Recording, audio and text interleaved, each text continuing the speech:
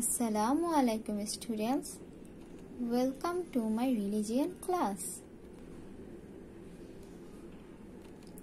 I am your religion teacher Mahbuba Jahan Mollika. How are you all? I hope all of you are well at home by the grace of Almighty Allah. Today I'll discuss for class 10 about chapter 5 and lesson 10. Lesson 10 is about Muslim scholars. Do you know Muslim contribution to learning is recorded in golden letters in the history of mankind. They contributed to history, medicine, astronomy, physics, chemistry, mathematics, hadith, tafsir, fiqh, philosophy, etc. Now I am going to tell about four Muslim scholars in brief. Number 1 Imam Bukhari rahmatullahi alayhi. Number 2 Imam Abu Hanifa rahmatullahi alayhi. Number 3 Imam Al-Ghazali rahmatullahi alayhi. And number 4 Zarir At-Tabari rahmatullahi alayhi. Imam Bukhari rahmatullahi alayhi contributed to Hadith. Imam Abu Hanifa contributed to fiqh. Fiqh means Islamic jurisprudence and law.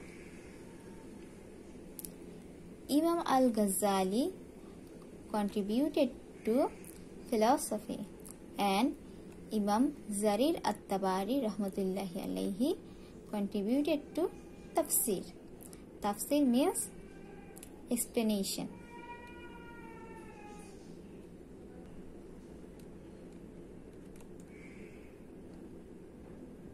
Now,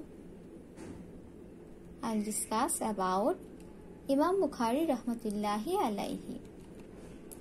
He was born in 194 Hijri or 810 Christian era. Hijri means Islamic year. His original name was Abdullah and surname was Abu Abdullah. He memorized the entire Quran at 6 years old. Can you imagine that?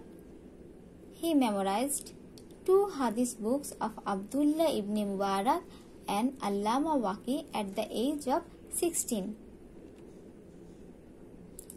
Imam Bukhari rahmatullahi alayhi learned hadith from Muhaddithin of Makkah. Muhaddithin means the person who taught the hadith of Hazrat Muhammad Imam Bukhari rahmatullahi alayhi traveled Kufa, Baghdad, Basra, Egypt, Syria, Asqalan, Hims, Damascus for collecting hadith.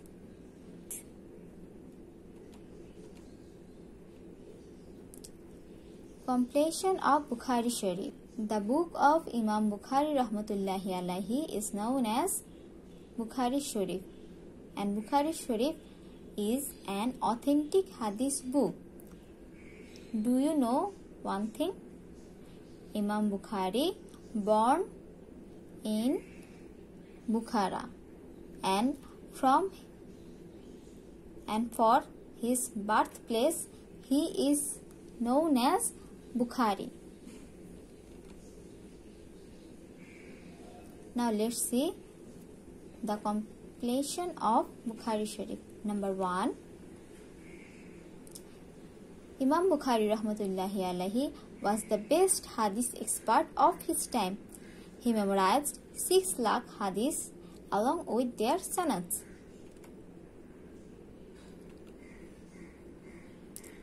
He accommodated only 7000 275 hadiths in Bukhari Sharif from his collection of 6 lakh hadiths. over 16 years. He accommodated Bukhari Sharif from 16 years.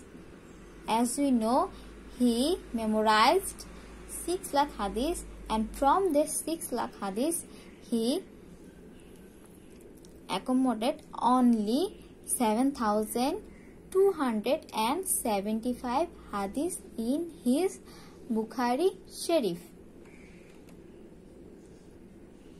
Third point is he used to engage himself in istikhara. Istikhara means invocation to Allah for good information in dream. When any person is in dilemma or in trouble and and doesn't know what to do then he should pray. Nafil salat ask Allah for help or show him the right path and then he sleep. And in his dream Allah gives him the right way or right decision and this process is known as istikhara in Islamic term. Fourth point is he noted down a hadith only when he assured its authenticity.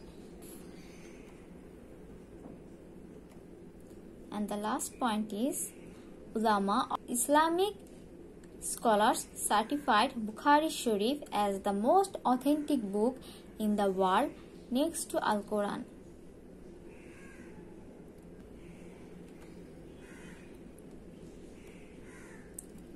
Memory